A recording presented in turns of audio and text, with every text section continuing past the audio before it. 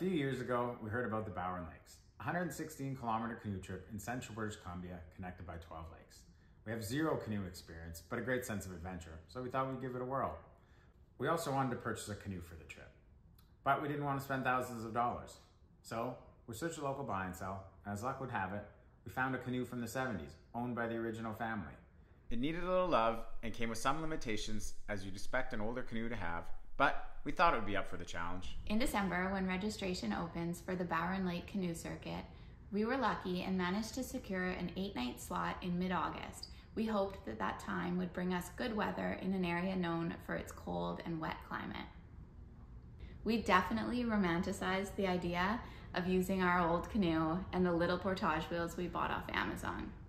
But having never canoed before, we didn't know any better. Of course, things went a little sideways, as they always seem to with us. Our truck broke down on the way up, and those little wheels didn't hold up the way we wanted them to. With our 45 pound backpacks on and about 80 pounds of supplies in our already heavy canoe, it was definitely a lot more work than we thought it was going to be. But it made the trip all that much more fun. The learning, exploring, and adventure never disappoints us.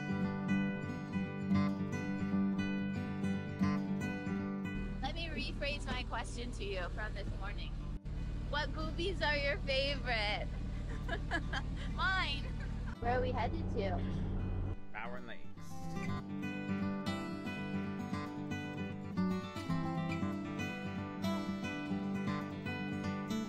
Well, we're stuck in a little bit of traffic, but it's good because some nice guy told us that our uh, canoe seat's flapping around, so we had to take it off. So otherwise, if it fell, I would be sitting on the ground for eight days paddling. Uh, so yeah, so we had to take her off, and then we're gonna have to get some bolts because it's pretty rusty. After seven hours into our nine hour drive to Bowron Lakes, we arrived in Quesnel, a small town in central BC, to discover a broken front wheel bearing on our truck. This forced us to spend the night, however, we were extremely lucky enough to find a mechanic to help us fix it the following morning. This also gave Zach the opportunity to borrow some tools and fix the seat in Sunflower, our canoe. We're on our way again. Truck is fixed. Yeehaw! Bowron Lakes, here we come. We had originally planned to spend a night in Wells, BC, exploring the historic areas surrounding Bowron Lakes before we started our canoe trip.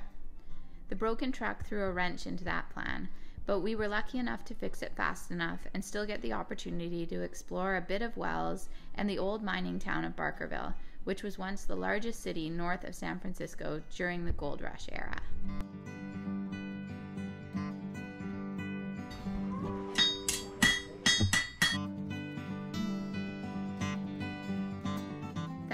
That we met up with our friends Matt and Aaron, two brothers who were joining us on the trip.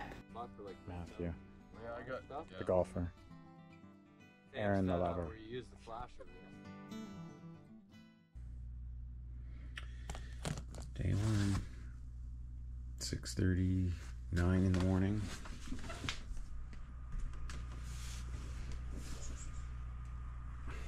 And little blueberry toes is still in bed.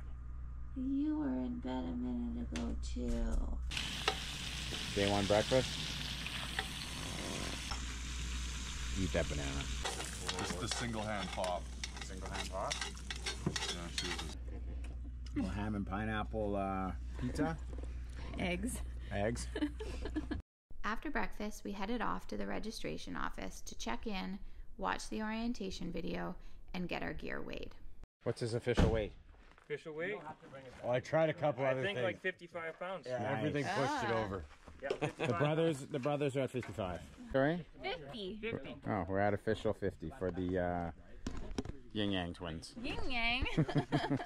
While you can carry as much as you want on your back, canoeists on Bowron Lakes are allowed a maximum of 60 pounds of supplies, excluding paddles and life safety gear, in their canoe on the portage trails.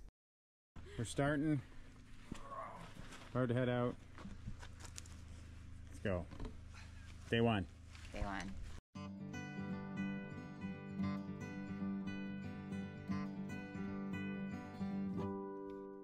halfway through our first portage. Morale's at a low. Trying another new system, calling it the mush. We found we got to try and keep the canoe level. It's the problem because one side's too high, one side gets too low, hard to steer, and it's like we're pulling the weight as well as, or carrying the weight as well as pulling it. But I think we figured it out with the mush so far. So far, mush for the win. So we're just over the two kilometer mark and we've, we've tweaked her. So this one's not the best because this is, you know, an hour and a half into an eight day trip. But we'll make it work. Aaron and Matt came back with their wheels to let us borrow them and help us get our canoe to the end of the portage since our wheels weren't looking like they were going to make it. Wheels take two because ours bent. Yeah, those wheels are way better than ours. they bounce over everything great. Zach didn't want to listen to me when I said we should keep the rental wheels because I read reviews on ours and they break really easily, but ours already bent, so they're probably not going to make it the whole trip. But maybe they will. Otherwise, we're going to do two canoes, one wheels. See how she goes. First portage done. Two and a half K, about two and a half K about an hour. Sweaty. These wheels, Much better. bueno. Our wheels These ones, no, No bueno. bueno. Locked and loaded. ready for our first outing on the lake.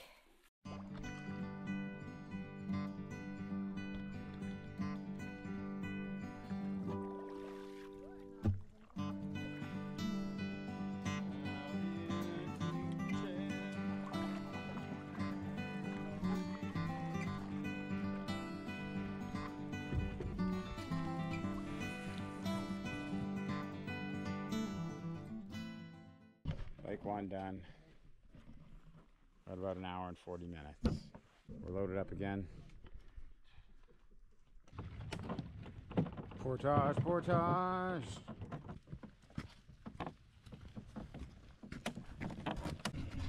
Second portage finished. Uh, it was about two and a half hours, seven kilometers. Okay, let's go. Well, I gotta take my boots off if I'm getting in. No, just walk through the water a little bit. It's gonna be over my ankle.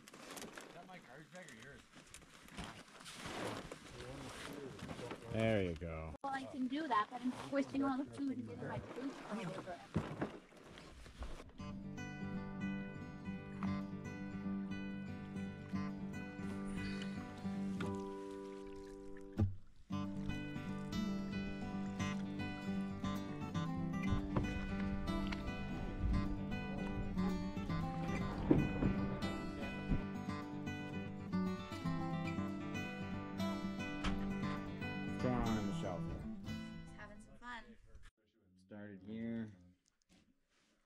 First lake one, second Second lake two, and this is where we are right now, number eight. We're gonna try and go to 12. We're gonna try to go for 12 or somewhere in 14, 16 here. There's 17, but we're at eight right now. would be good. 15 has a cook uh, wood stove. That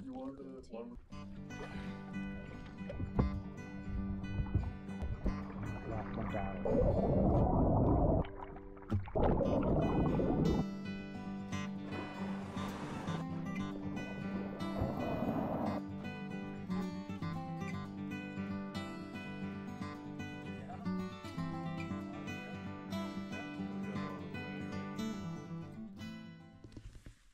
two, campsite number 11, Isaac Lake. Ponchoed up, breakfast up, man up. little rainy last night. Put on her poncho.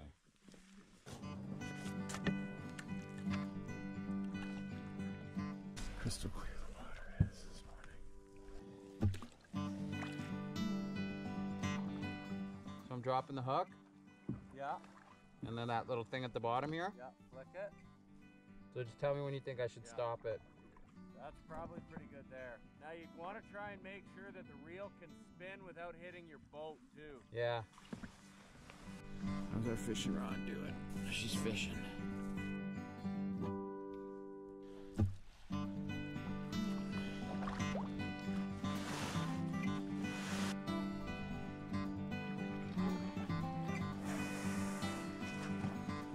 Like a glove. A Little kimchi for Aaron. You want, some meat? you want a piece of my meat? Oh, I want a little piece of Matt's meat. What kind of meat is this, Matt? Salami?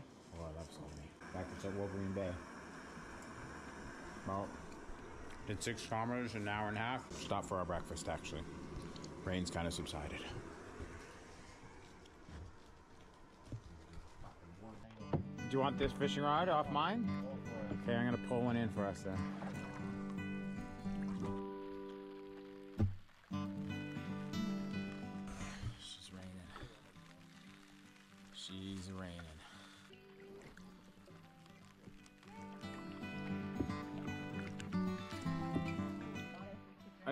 Up your hat with water so you can drink it, Matt?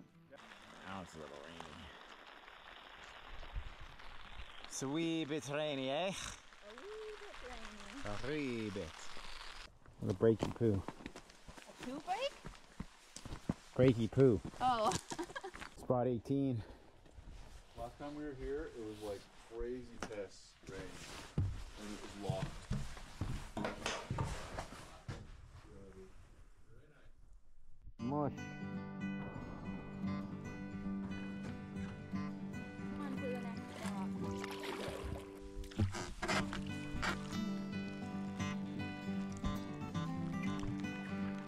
She's a floater. Campsite number 20. About 4 p.m. What do we do? 19K? 19K. Bed is set up. Bed is set up. Aaron's happy. Trying out our booties. We're like Smurfs. Look, look at our little booties. And what do we got? A smorgasbord? And a smorgasbord. Italian electrolytes. Oh yeah. Ital- Pistachios, some almonds, walnuts, gummy bears, and dried mangoes. Yum. Despite our failed efforts thus far to catch a fish, Aaron never got bored of casting an evening line. We always enjoyed the evening time spent on the beach as a group, resting, replenishing, and unwinding from the day's paddle, while enjoying the peaceful and picturesque surroundings. Good morning. It's day three. Yeah, day three. Night two was last night. We woke up to rain, a lot of rain again in the middle of the night, and kept us awake, or kept me awake. Um, Zach's having a poop right now. We are 19 kilometers, I think it was, into our trip. Now we're going to get to the end of Isaac Lake today, and then we go down the Cariboo River a bit. We have another portage tomorrow, first thing, um, and then we're on to relaxing days. I think we just had to push through this little bit. Um, but yeah, not a lot of sleep last night because of the rain. Morning. It's a little wet. There's our tent. Here's us in the morning.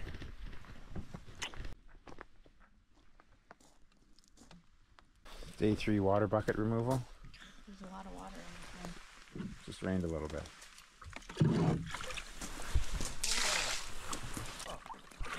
That's a lot of water in the canoe. Oh, Lord.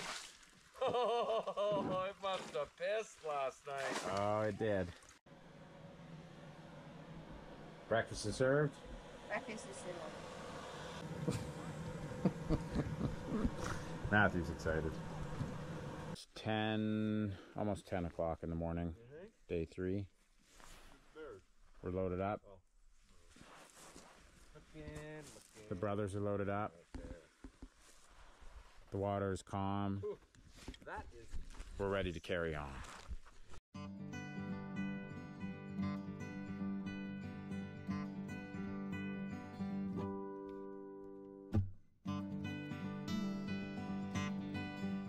We didn't see as much wildlife on the trip as typically expected, but we did witness a swimming squirrel who was bravely and single handedly traversing Isaac Lake.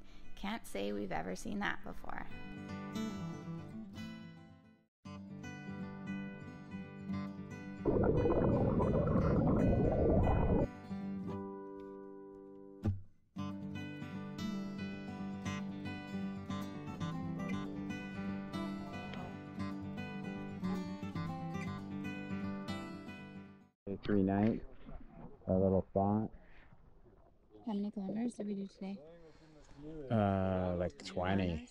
21 kilometers today. At the end of Isaac Lake is the infamous chute on the Isaac River. The chute is a narrow section of water with standing waves. The intensity and difficulty of the chute varies from year to year and month to month depending on water levels. Since we were a little unsure about using shallow old Sunflower, our canoe, we took turns in Aaron and Matt's so we could all try paddling it. While it looks pretty calm in our video, seeing it in real life made us worried that we might flip into the cold water. We all made it through though, and in the morning we decided to take this route out, even with our canoe, crossing the fast moving waters of the chute so that we could experience paddling along the Isaac River and take in the beautiful scenery. That night at camp, we had the luxury of using a large cooking shelter to dry out our gear and swap stories with other canoeists. We also got some extra exercise, keeping the resident mice away from our supplies. Zach also got a chance to take part in a Bowron Lake tradition by carving a miniature wooden paddle. Canoeists carve simple to extravagant paddles along their journey and display their finished pieces outside of the shelters and cabins found along the circuit. Still no sunshine in the morning. Rained hard again last night, but we kept dry. Nemo 10 for the win. Breakfast went a little fancy today. We got the, I put milk in it. yeah, we got milk in it. Our little teas. What's the weather like?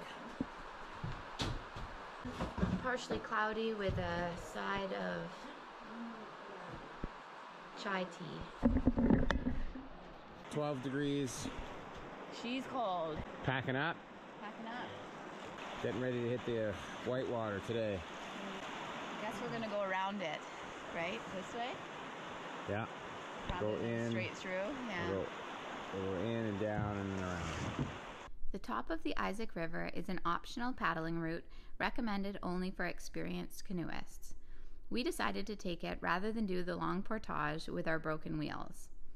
We also wanted the challenge of the fast moving waters and scenery that came along with it. It was a great choice for us, but make sure to check water levels and be honest about your capability levels before attempting, as we did see canoe carnage along the way of souls whose fortunes weren't as good as ours. Yay, team! Day three portage, they're off. We're getting ready. We're almost set up. But little sunflower, she did so good in the rapids. You can see how these wheels are not bueno.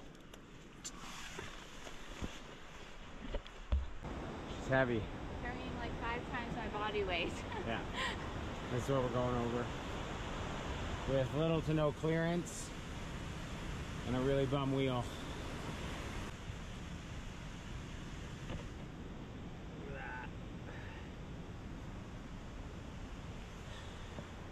Once again, Aaron and Matt saved the day with their portage wheels.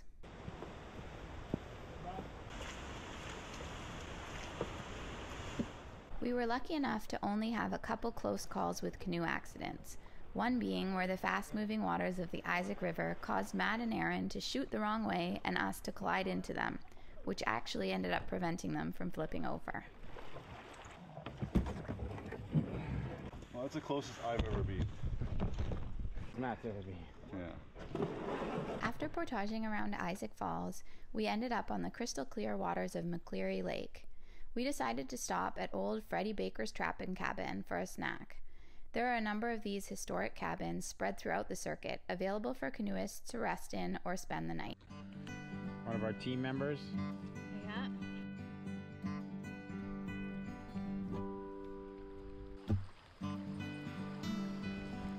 Paddling down the Cariboo River, Zach and I had our close call with the unpredictable current and a fallen tree. What do we got? More rain. More rain. It's Day four, and it's still raining. It's still raining.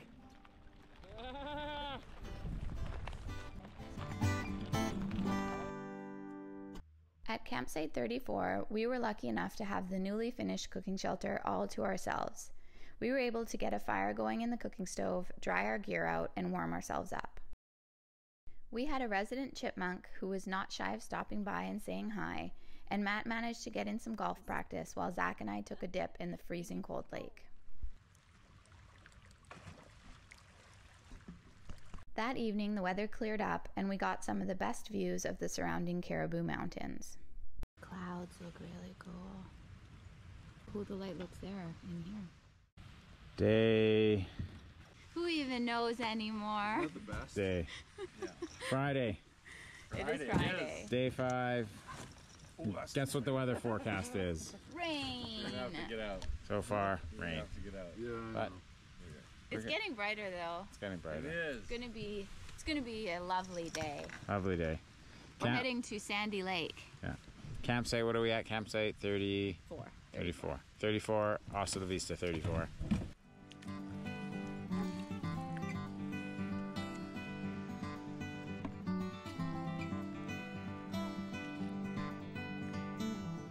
Little rest stop, Snack stop. site 36. I'll pour. I have cups and stuff. Yay, campsite 38.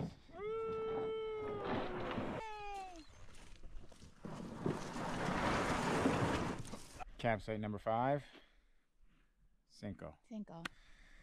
About another 13 kilometers today. Took us a couple hours, three hours probably. No, less than that. I thought it was only two. Oh, two and a half. It's a nice little spot though. Set up for the rain. Most wildlife we've seen. Little frogs. Nice little frog guy. Morning of day six. Still no sunshine. We're screwing this sandy lake. With the cold lake and the mosquitoes the size of birds, we're headed to the sunshine and to Unna Lake today. There's blue sky. Blue skies are coming. Aaron's pondering life. Another word to the wise. Mouse is like everything. Chewed through our dirty laundry. We usually leave the laundry outside because not enough room in the bear cache. And this morning, woke up and the, the mouse has chewed through my dirty laundry. The mouses like the smell of Zach's dirty underwear. I think it's my dirty socks, not my dirty underwear. Mm, I think it's your dirty underwear. Enough. Morning tea.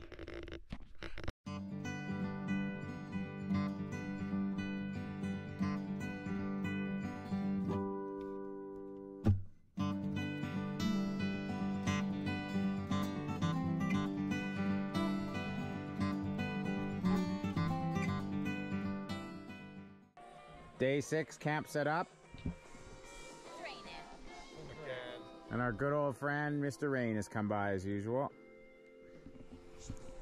Day six wouldn't be the same without a little rain and some hair. But we got a tarp set up.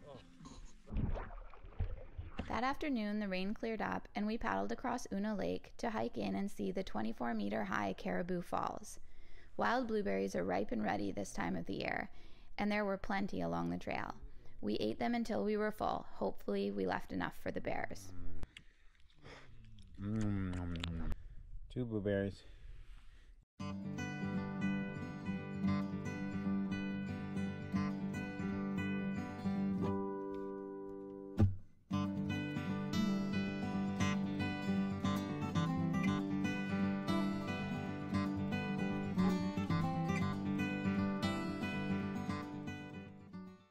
That night was clear, and we were able to enjoy more of the Perseid meteor shower that serendipitously was happening during this trip. Day seven coffee, Tea. tea. What have we having? Variety. Bengal spice. And some stash.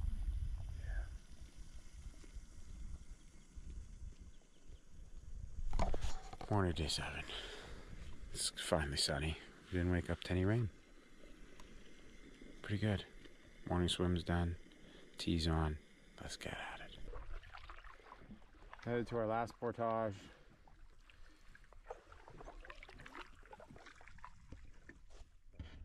I don't know how. So we came to the beaver dam. Do a little pulling to get around her. No, I wouldn't. It'll. Pulling her through the beaver dam. The Princess doesn't get her toes wet. Gets much bigger, it's gonna get hard to keep it Yeah. passing. Gotta get through this ankle deep. We'll get through it. Mush, mush. But we got us all through. Whew, that is deep there. Yeah. Day seven, Sunday. Grabbed my flip Little beaver dam fun. Our last main portage. See how we do. Old sunflowers tied down as best you can.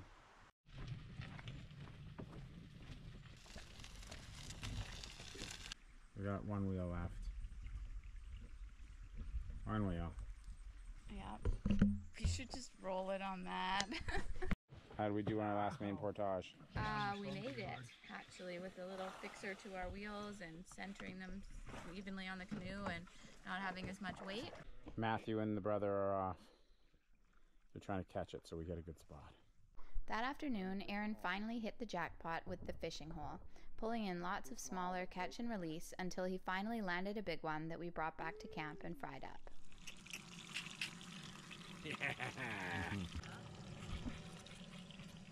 Night 7 turned out to be our last night together as a group as we were finishing faster than anticipated. We ate dinner on the sandbar of Camp 45 as we watched the sun dip behind the mountains. The next morning, we completed the circuit paddling out to Bowron Lake. Matt and Aaron headed home, and Zach and I decided to spend one more night together under the stars.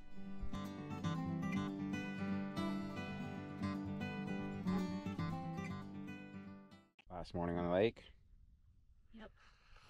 We spent our last night in a secret spot on the Yeah. Bowron. Paddle in for another hour. Yep. And that's our trip. That's our trip. Eight days, 130k, Eight nights. eight nights, nine days Yeah, crazy. with little old sunflower She did good. and the open road. Made it.